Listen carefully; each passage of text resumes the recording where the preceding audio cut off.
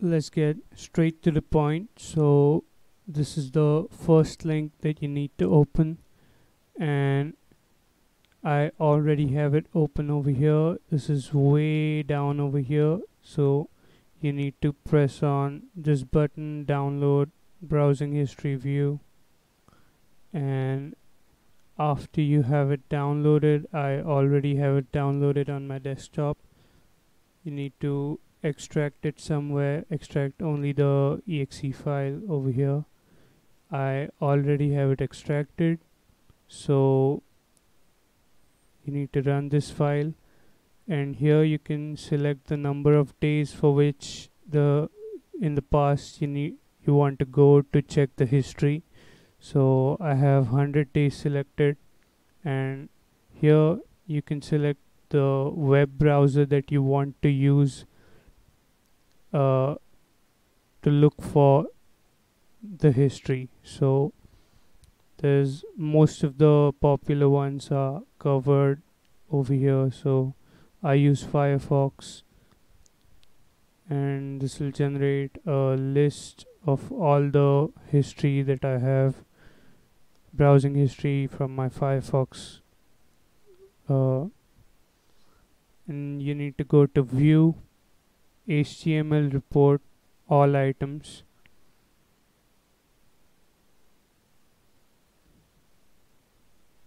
And you need to uh, click click on save as. And now this is important. The name of the file needs to be history.html now I can save it on my desktop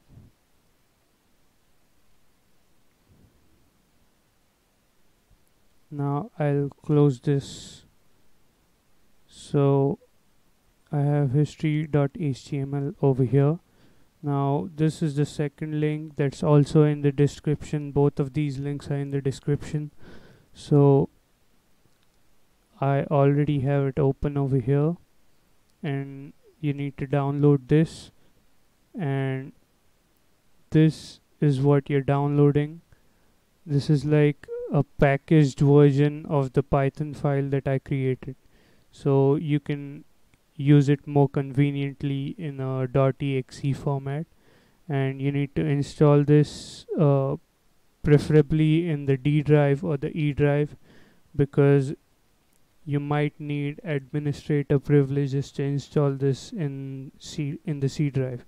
So I have it already installed over here and I have already placed my history file over here so I'll just delete the text files that I made from the file. So you need to double click on tns here dot exe and it'll take like a few seconds to run. So you get two text files over here the first text file has all the names of the manga that you have read during the last six or seven however many days that you selected in the browsing history viewer software. And the second txt file contains the names and the link of the last page that you visited for that specific manga. So for example for this long ass name I have a link to Kiss Anime. The last one I visited was chapter 10 it's probably a decent manga I hope so. And that's it so we got like that's what we needed right? And now we're done. That's it. Thank you for watching. And I hope you subscribe to this channel. I don't know if I'll be uploading anything else but I just subscribe just because you know.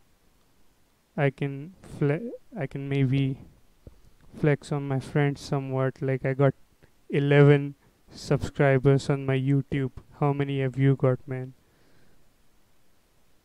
Okay, that's it. Thank you for watching once again, and bye.